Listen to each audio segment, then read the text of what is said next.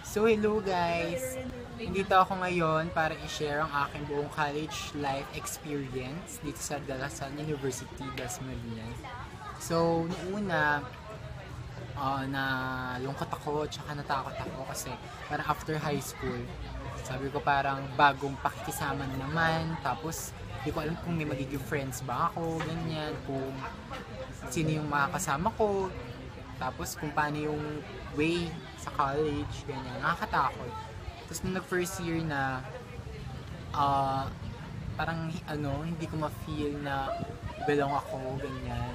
Oo, parang hinahanap-hanap ko pa rin yung presence nung mga high school friends ko. Tapos parang nagplano pa ako lumipat ng school sa Manila kasi lahat ng high school friends ko sa Manila nag-aaral. So parang gusto ko doon na din para malapit lang kami sa isa't isa, ganyan.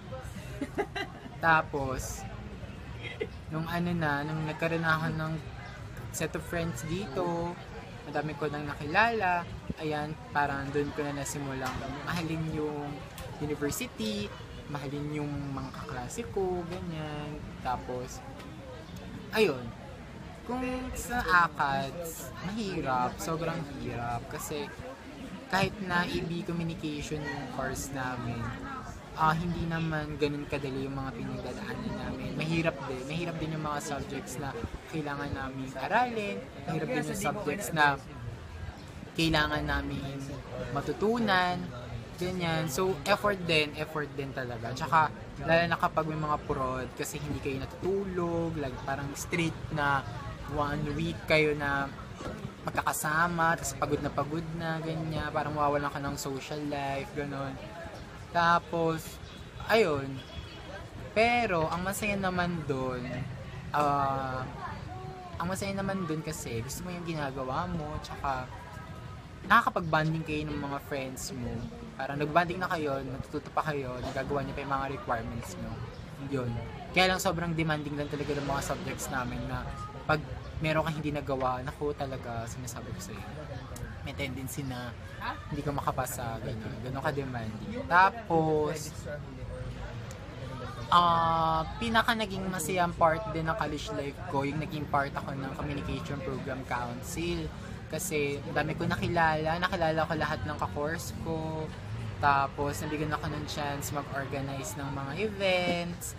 Tapos, ah parang nagkaroon na nagkaroon ng ibang way nagkaroon ng ibang way yung uh, routine ko dito kasi nagkaroon ako ng ginagawa, ganun, parang nagkaroon ako ng lugar dito sa Lasal dahil sa pagiging communication program council officer ko. Ayan.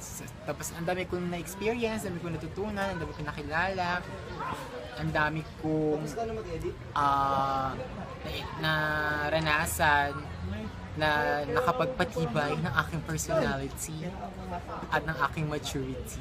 Yan.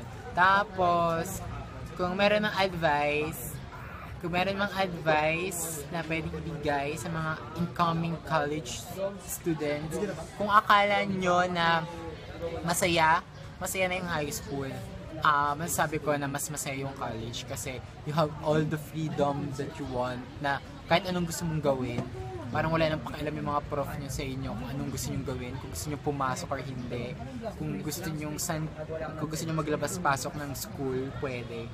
Yun. So, yun yung pinakamasayang part doon.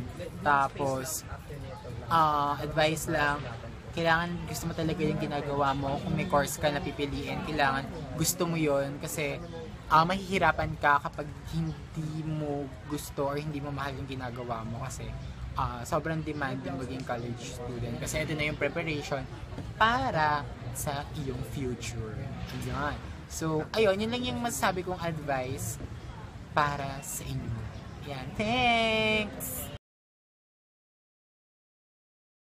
Uh, strive harder and I hope that God will continue to bless you. Uh, even after graduation, uh, I hope and pray that you'll, you'll become successful someday. Lalo ano, maasahang tropa, uh, classmate, tsaka tinuturing ko na rin nakababatang kapatid kasi mabibigat ng mga problema, ako yung sinusumbungan. Tapos, the same time, in, an, ganun din, nakakatulong din siya pag may mga mabibigat din akong problema. Tapos, ayun, sana pagka-graduate niya, maging mature po siya to handle yung mga prop, lalo mga personal problems, uh, leadership problems, tsaka responsibility sa sana ah, mas maging ah, productive, tsaka ano, ayun, maging ah, maging blessing ka pa sa mas maraming tao. Kasi napatunayan mo na naman na yun yung college na naging pagpapala ka sa iba. Sana pagpatuloy mo lang to be a, to be a blessing sa karamihan, lalo na in the, in the world, mas marami tayong mga kasalamuha. Ayun. Love, love. Happy graduation. Hi Pao, ah gusto ko sabihin, I wish you all the best, lalo na ngayon gagraduate na tayo. I hope you ah, makuha mo yung gusto mong tatahakin mo sa buhay. Ayun, tapos ah, sana stay the way you are. Tapos good luck sa lahat. Hi Paolo, um, kung napapanood mo to ngayon, ang sasabihin ko lang sa'yo is that, ano, um, thank you for a one sem. One sem pa lang naman tayo magkakilala kasi. Thank you for one sem na um, nakilala kita and nag-open ka sa akin ng mga iba't ibang bagay. Although, yes, mabilis. Mabilis lahat. Ang landi. Higad! De, pero ano, ah, masaya ako na naging kaibigan ko si Paolo Mendoza. Isang ano, privilege, I think. Kasi I remember nung first ano, first year ako, first year, second year yata. Ano, naging magkaklase kami, tapos hindi niya ako pinapansin. Di ba? Heartbreak. Tapos, ngayon siya yung mahabol sa akin. Higad! tapos, tapos yun, ah, ano, um, yun lang. Then, sana I wish him well pagdating sa love life, pagdating sa buhay-buhay, career, family. Yun. Then, um, don't stop um, believing, don't stop um, um, soaring high. Then, always be the same. Always be the same Paolo na nakilala ko. And I'll just be here anytime. And, yun. Alam mo naman yan. One text away lang ako. Ano bang ano? Ah, madami akong gustong sabihin kay Pao pero hindi siguro sapat yung buong araw. Ano, ah, si Paolo, ano, mabait, good even na. Tapos, ano, um, persevering. Um, tapos talaga, kung anong yung gusto niya na i-push, push niya talaga eh. Kahit na pinipigilan na siya nila, nila ma'am, ano, hindi na magdadrop ng names. Tapos, ano pa bang gusto kong sabihin kay Pao? Yun, pagdating sa love life, huwag na lang muna siguro, pero sawi, pero okay naman, fighting. Pag- pagdating sa pera, siguro pagdating sa mga ano, mabilis siyang kausap pag sa mga utang-utang, pero magastos to. Siguro kapag magkaroon man to ng love life, siguro dapat ang unang ituro ng ano nito, magtipid. Ayun, tapos gusto ko tong taon to kasi talagang ano, kakaiba siya. Bihira makita ng taong ganun na talagang ibang pakisama, supportive, and um, andyan siya palagi para sa mapagkailangan mo. So, ayun. Marami pa akong gusto sabihin pero yun na lang muna sa akin. Ganda ng buhok mo, ingit na ingit ako. ako din, sana pala hindi ko nalang pinagupit yung buhok ko para kasi amazing yung buhok mo, yung buhok ko. Ayun. Wala, ayun. Ingitin ako. Ano, de, thank you kasi naging friend. Ako naman yung ibang message.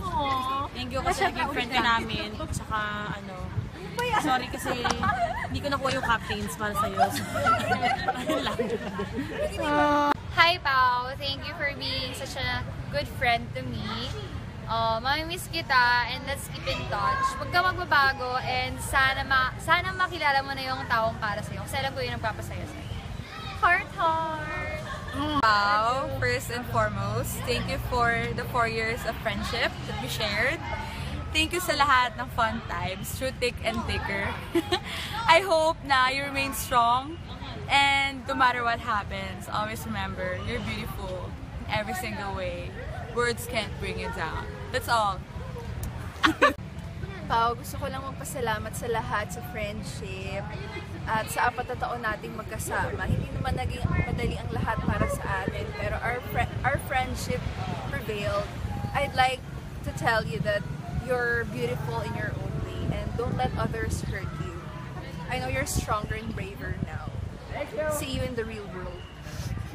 Ah, yung masasabi ko lang sa'yo, ah, salamat sa friendship, this college life. Kahit hindi tayo magkaklase, pero ano yun, kahit sa hallway, medyo, yan, close, uh, yan ka pa, nag-ahay, yun. Kaya good luck, good luck sa'yo sa pupunta mo sa after grad.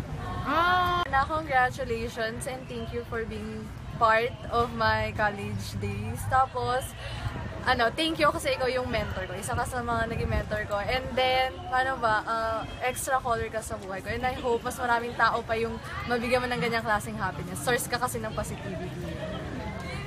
stay pretty, sexy, and not so, basta, ano, lahat ng magagandang bagay mangyari sana in the not so near future. Pero, tas ano, yung pangarap mo matupad. Tas yung partner in life. Yun lang. God bless. Gusto ko lang sabihin kay- sa'yo, Paolo, na parang, yun, pagpatuloy mo lang yung ginagawa mo, pagpatuloy mo lang lahat ng mga ginagawa mong mabuti. Tsaka, magpasaya ka lang lagi ng tao kasi dun ka magkakaroon ng maraming kaibigan. Dun mo mahi, parang mapapanatili mo ang kaibigan mo ngayon. Yan. God, God bless. Sana maging masaya ka. Tsaka sana maging successful ka sa hinaharap. Thank you. Kung meron akong gustong sabihin sa'yo, ah, siguro ah, mahal na mahal kita bilang friend. Kasi sobrang, ah, hindi ko alam. Oh my God, parang naiiyak ako. Wait lang. Hindi, hindi ko alam kasi late na tayo naging close. Tapos nung naging close tayo, super, super tight agad. Kaya sobra, sobra, sobra, sobrang mamimiss kita pag graduate natin. And sana hindi tayo mag, hindi ka magbago sa akin. Tapos sa pakikitungo mo sa akin. Love, love, Pao. Love you.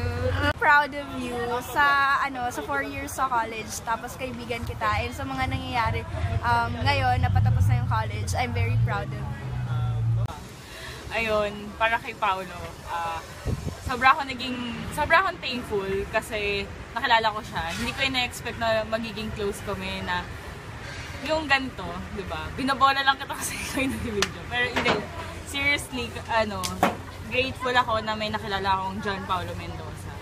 Na ano, kabanding ko kumain, ganyan-ganyan. Tapos, alam mo yun, kahit na minsan nakakainis siya. Lalo naman yung sa pag ano, di ko gusto yung ano, yung mga biro niya. Pero yun, masaya ako kasi may dumating na John Paulo Mendoza sa buhay ko.